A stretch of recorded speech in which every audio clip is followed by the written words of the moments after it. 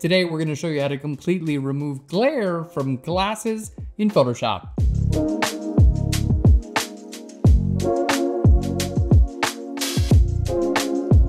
Hey there and welcome to Phlearn. My name is Aaron Nace and today we're gonna show you the brand new way of removing glasses from glare. We're gonna use a little AI, but we're bringing in the oldie but goodie clone stamp tool. It's so important because we don't always wanna just create like new facial features using AI, but Clone Stamp is a really good way to do this as well. So we're gonna show you how to copy basically one side of a person's face to another side of a person's face and get this perfectly glare removed. So jumping in, you can see we got a lot we're dealing with and we're gonna remove all of this glare in our photograph today. Now you can see here we got some glare and this is like underneath this, like we have a lot of facial features here we don't necessarily want to cover up. So all this stuff like with his eye, you don't wanna use AI for that stuff. Now this little thing in the corner, just like that little stuff, you can totally use AI for that. So we're gonna start there. We're gonna go ahead and grab our selection brush tool. Let's go over here to the selection brush tool. We're gonna zoom in and just basically paint right over these little areas. You know, this isn't a big deal to use AI for this stuff because this is just like over top of his eyebrow. Honestly, it's gonna do just a pretty good job. So we're gonna go ahead and do that. Let's click on generative fill and then just click here right on generate. It's gonna generate and give us a few different options, which we always love. Options are great. Yes, please. Thank you, thank you, thank you. Okay, now let's see what we've got, a few different options. And you can see it's just like different, slightly different eyebrows that sort of thing is just not that big of a deal if it's slightly different looking eyebrow. But you don't want to go around changing people's eyes, right? Like that's that's where it gets to be a big deal. Now, in this, you can see we have this area on one side of the glasses, and on the other side of the glasses, it's clean from distractions. So that's what we're gonna do is going to copy from one side to the other. And I find when I'm reducing glare, removing glare, that's a lot of the time, that's going to be the case. Is like one eye is good in one place, the other eye is good in another place. We're gonna use our clone stamp tool, swap around, mix them up, make it right. All right, so here's what we're gonna do. Let's create a new layer. You can click on your new layer icon here. We're gonna hit S for the clone stamp tool. Because I'm on a new layer just right here, just make sure this says to sample your current and below layer. Fantastic. Now, what we're going to do is I'm going to hold Alt or Option to sample this eye over here. Just hold Alt or Option over there. And then you can see I have a little preview here. We're just going to kind of paint it in right over on that eye there. And you can make this a little bit larger than you need and use layer mask. Okay, I'm going to hit the V key to bring up my move tool and I can move this around. Now, keep in mind, I got to flip this around, right? Like it's the other eye. So we got to flip it. We're going to hit Controller Command T, and then here in your contextual taskbar, we're going to flip this horizontally, just like that, and hit Enter. If you don't see your contextual taskbar, no big deal. Just go to Window and then down to contextual taskbar. Make sure that's turned on.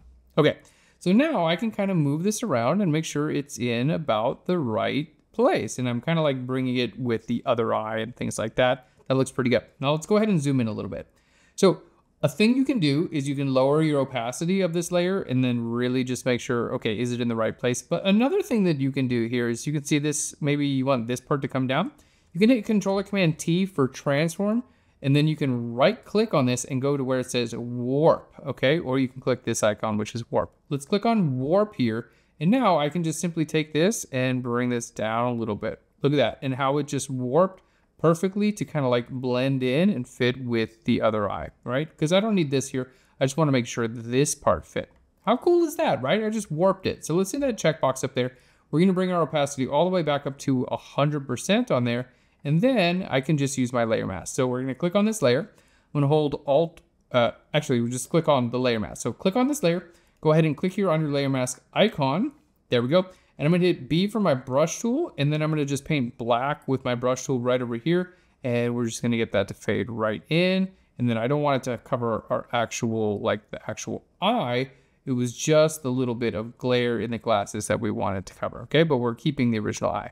So basically, look at that. Like that's just like from the other eye that we just brought over. And I think it looks really, really good. So everything looks really good in terms of the glare. You know what? I'm going to hit Control Command T. We're just going to bring our little control point there, and we're just going to stretch this up just a little bit so that the, uh, there we go.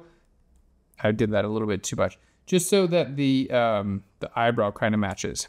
There we go. And we can even use our layer mask to just kind of like layer mask that just a little bit there. Okay. Now, if you do, if you're getting it like mostly there and it's like looks really good, but there's still like a small area that like you just can't seem to blend just like that, that's no big deal. You can still grab, don't forget, you can grab your selection brush tool and you can just do like little areas at a time with generative fill. We just don't want to go like, you know, replacing someone's whole eye because well i'll just show you what happens when you do that it's just going to make someone else's it's going to make a new eye that doesn't even look like that person you don't want to do that right but like a tiny little area like that if you need to do a blend you know just do like that. It's going to be okay. But like look if i just like tried to replace this person's whole eye and then click on generative fill and then click on generate it's like you know it might make an eye but uh you know it's ai and ooh, results are always like, yeah, it's like, sure, but like that's not that guy's eye. It's a similar ish looking eye, but it, it, that doesn't like look like the same person, right? So you never, ever, ever want to do that. Okay.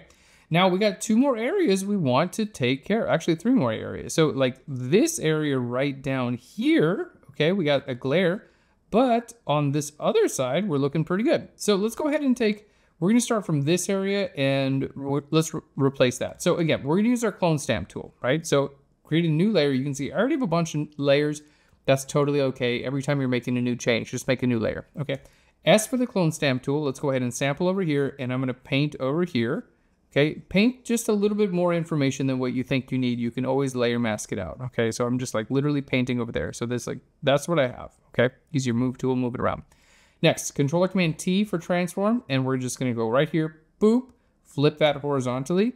Let's lower your opacity of your layer just a little bit, and you can kind of just get this to like line up, right? And I just want it to line up, you know, where like the other eye is and like the creases and all that other stuff, you know, we just want it to like basically just like look like the other eye. Here we go and hit enter. Let's bring our opacity back up to 100 I'm going to just put a layer mask on there. Okay. And then we're going to paint black on our layer mask right over here. There we go. And just get this to kind of like fade back together again. There we go. Fantastic. And then let's make sure we paint away there because we want the original eye, right? We're like literally just trying to bring in the bottom of the eye. And I can still move this around and be like, okay, you know what? Actually, that looked a little bit better. You can hit Controller Command T and rotate this around if you need to. You can do all kinds of stuff here. But basically, the idea is we're just copying from one side of the face to the other, and then it's actually the guy's face, you know? Okay, let's do the same thing over here. Let's hold Alt or Option. So clone stamp tool, we're gonna hold Alt or Option right here, and then just paint an area, you know, right over there. You just paint it wherever you want because we're gonna transform it. So controller command T for transform. We'll flip that horizontally, hit enter, lower our opacity just a little bit, and then we're just gonna move this into place there. Okay, and again, you don't have to move it to the exact right place, it's okay. Bring our opacity all the way up to 100. I'm gonna hold Alt or Option to put a black layer mask on there, and then we're just gonna paint white right here on this layer mask.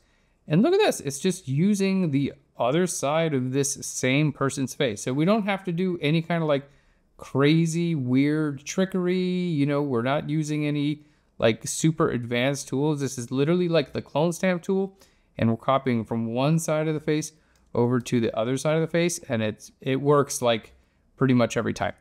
All right, new layer, and we're gonna just do the same thing. S for the clone stamp tool, we're gonna sample right over there.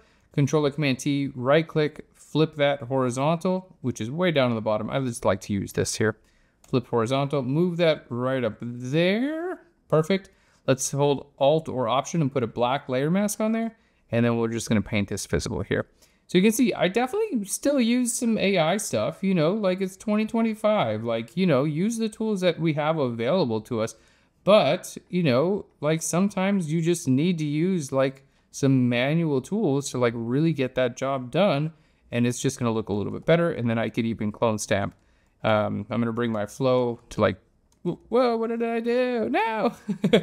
Clone stamp tool. I'm going to bring my flow to like 20% and make my brush a little softer. And then I'll just kind of clone stamp a little bit of his eyebrow back there where I want some more eyebrow.